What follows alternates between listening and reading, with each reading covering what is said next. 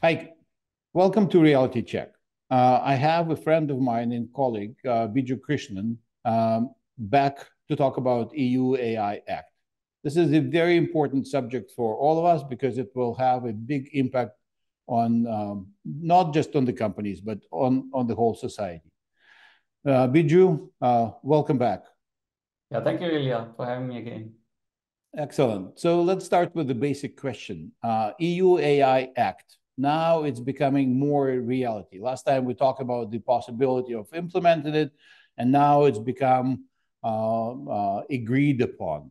So what does this act cover?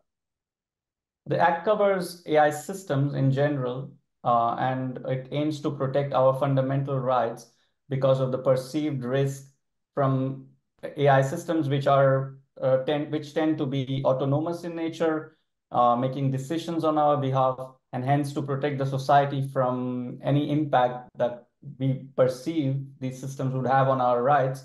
Uh, the act was uh, formulated by the legislators. Okay, and uh, is there uh, a classification of different systems? Yeah, so the act doesn't apply universally on all AI systems. Uh, they have uh, they have adopted a risk-based approach where they have classified or they they have provided guidance to classify systems into uh, three categories like low or no risk, uh, and then there is high risk, and then there is the prohibited systems. So when we talk about low and no risk, we talk about spam uh, like filtering. Uh, that's an example. your emails get filtered out uh, automatically. Uh, there is no rule or there's no law that's going to govern those systems. We talk about high risk systems where which are primarily like uh, you know workplace AI used in workplace or uh, AI used for social scoring and things like that. Uh, they will be classified as high risk, and then the prohibited systems like uh, there was a lot of discussion on biometric scanning, for example, and uh, uh, in, like just there are there are a few exceptions where law enforcement agencies can use biometric scanning and AI in biometric scanning, but um, uh, generally speaking, those kind of systems will be prohibited uh, for adoption in the EU. Okay. Are there any penalties for uh, violating these laws? Yeah, so of course, when the act will be uh, in effect, you might see um, uh, fines or like when you violate these uh, laws, then you might see fines of up to 35 million euros or 7% of the total worldwide annual turnover uh, for the preceding financial year for any company or organization that violates these laws. Does it apply to uh, only to European companies or to every company that has business in Europe? Yeah, it applies to the latter, which is every company that has business in Europe. So it has this extraterritorial um, reach, uh, similar to what we saw in the case of GDPR, where any a company or organization that is offering services in the EU has to comply with this law. Okay. And uh, when this uh, is going to become a law, so when it will be enacted? Yeah, so the timeline goes like this. The there has been political agreement now uh, among the EU legislators on very a lot of the controversial topics, uh, like for example biometric scanning. Like earlier, it was predicted that uh, no agency or no one will be allowed to use biometric scanning or use of AI in biometric scanning. But now there are exceptions for the law enforcement agencies to um, get permissions on a case by case basis, for example. So the political agreement has been reached. Now, uh, in the coming weeks, there will be uh, the technical um, formulation of these laws. Uh, then the EU Parliament will discuss it. Uh, and we hope that by June next year, before the next EU elections, the law will be ratified. And then the companies and organizations have uh, two more years to uh, kind of prepare for the application of this law. And then in, let's say, 25 or 26, we will see the law in effect um, okay. across EU. So while it seems like a long time, uh, I'm sure uh, this is a very, very big topic. So the companies should prepare uh, to today. So what's your recommendation? What companies should do starting uh, probably before Christmas? Nobody will do anything, but after uh, new year, what companies should start doing immediately? Yeah, so my experience is that uh, the level of AI governance in most organizations is is at a very, let's say, basic level. Some don't even have AI governance uh, because AI itself is, uh, let's say, a new topic for many organizations. So I would say the first thing that every company should do is to assess the, their level of AI governance, uh, their level of uh, understanding of how AI ethics is being incorporated into their uh, applications and also set up the framework for classifying their systems into these low risk and high risk and prohibited uh, uh, categories. So, so if you don't know where your systems fall, you wouldn't know when to apply, uh, when these laws would be applicable to you.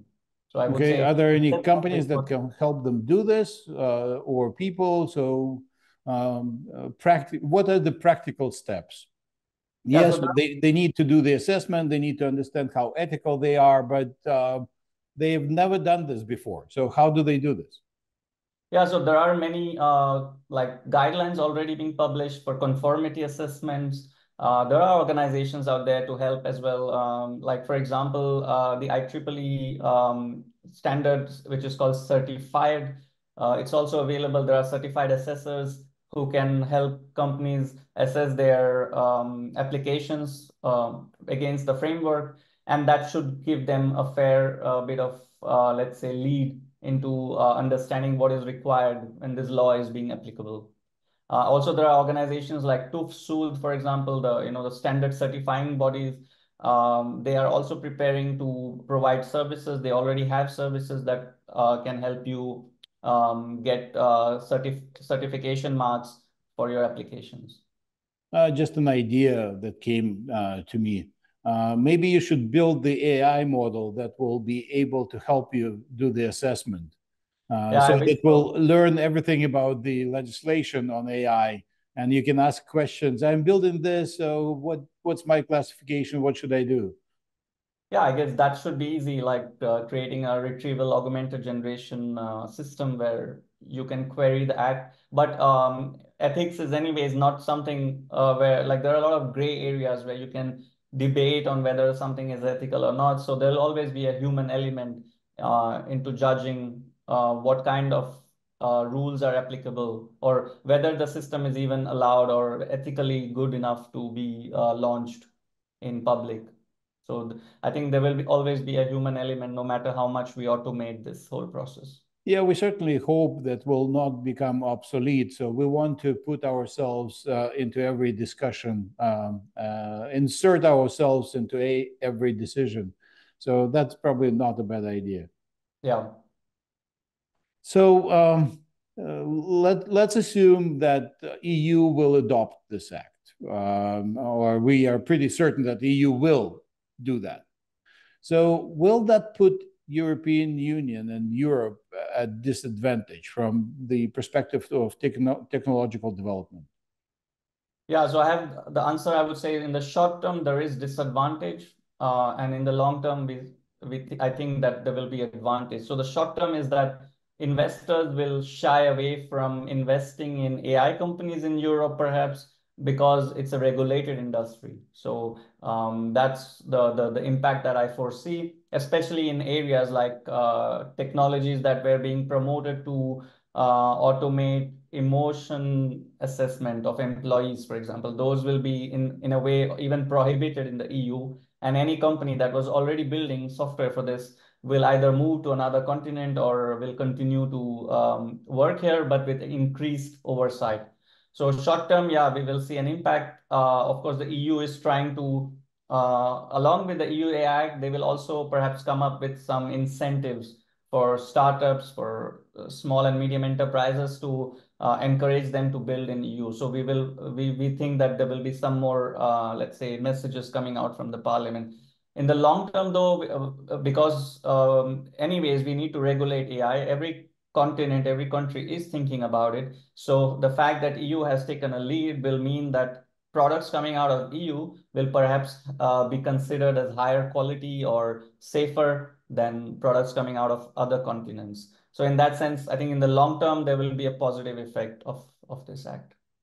Yeah, I'm sure somebody from legislation office is listening to uh, uh, Biju and myself. And uh, my recommendation to you guys is make sure that when you regulate things, you also add incentives uh, to develop the right things, to develop the safe AI models, to develop uh, controlled, um, uh, moderate risk systems, but that can be used for a better good of society. So we certainly need uh, the incentives as well, not just regulations. Yeah, one incentive they have already discussed in the EU AI Act is the provision of a sandbox, where let's say you're a startup developing a product that will be uh, probably classified as high risk. You can bring that into the sandbox free of cost uh, to, to for the regulators to already start checking it out and you know uh, giving you clear guidance on what is the implication for such system. So they, that kind of uh, framework is already being proposed in the EU AI Act. So it's some kind of a, let's say, relief for a startup that's probably already building or is planning to build a high risk AI system. Not good enough from my perspective. Not not enough. Uh, should be should be more uh, done in this space, especially the VC uh, uh, environment in the EU uh, leaves a lot to be desired, to be honest. Yeah. So uh, there has been like some legislators have said like when we propose the EU AI Act, we should also at the same time uh, create a fund for SME yep. startups, uh, financial uh, backing that is already like so it shouldn't be seen as we are reg only regulating and not promoting innovation. Both should go hand in hand. Perfect. Yeah, I would love I would love to do one more interview with you and talk about the incentives that exist for companies uh, to build the AI models. I believe uh, AI can do a lot to increase our productivity and make our lives much better. Um, uh, at least increase the service level that um, is a little bit lacking uh, in Europe uh, these days. My last question uh, to you, Biju, is um, it's always important to understand who are the beneficiaries so who will benefit from this act? So first of all, the whole idea is to create benefit for the society and uh, respect our, you know, like protect our fundamental rights. So that's like the noble agenda, if you may call it. But of course, the uh, the fallout of such a law, as we saw in the case of GDPR as well, will be a, a lot of uh, services, new services that can be created. Like you know, like as I said, like I myself, I'm preparing uh, for becoming an assessor, which is basically a, you know something that I will profit from. Uh, legislators are also getting happy because now they have a say in what is uh, good and what is bad. So they are finding, you know, they are placing themselves into a position of importance there uh, because uh, they also realize that AI will be a fundamental part of our society going forward. And how can legislators not be part of uh, this um, this sphere? So yeah, and then we also see, I think I also foresee, uh, you know, certification quality standards uh, companies which, you know, provide these marks of, yeah, safe and certified. Uh, they will also create a host of services that cater to this segment. So yeah, there, there will be definitely beneficiaries, including me, uh, if uh, this act uh, comes into force. Yeah, I can add a couple more uh, categories. I expect that consulting companies will definitely be on the receiving side. Uh, and I would expect that the companies that do training uh, will benefit as well. So uh, uh, there's lots of people that will have a direct um, uh, financial interest in that. But more importantly, to make sure that we have in Europe the thriving community of developers that build the um, safe, reliable, and uh, do good uh, AI systems. Yeah, so one reason why I got into the game uh, or the whole area is that I found that most of the people uh, learning this uh, or understanding AI ethics are mostly are coming from academia. And I found that it would be very pertinent for a person like me who has put models in production to also understand what how to regulate or how what are the implications of these laws uh, so that I can guide the companies in the let's say the easiest possible way to uh, meet those standards. So rather than filling checklists, we could perhaps automate the process. Like you just mentioned, why can't we train a model to understand the act, for example? So those kind of uh, practical measures could actually ease the whole process. And that's why I personally got into this uh, field of AI ethics. Great. Uh, we need people like you uh, in this field, people that have the hands-on experience in deploying the complex uh, solutions in the enterprise space. Uh, Biju, thank you so much for uh, coming back at short notice to discuss this very important topic of EU AI Act. And uh, I'm sure we'll uh, meet again for more uh, interviews to talk about the uh, incentive programs for, especially for the startups. That's the topic I'm very curious about. Thank you. And um, all to all viewers, don't forget to subscribe to Gen AI Reality Check channel. And uh, please visit uh, uh, Biju's um, website that I'll put in the description for this video. Thank you. Thank you, everyone. Ciao. Bye-bye.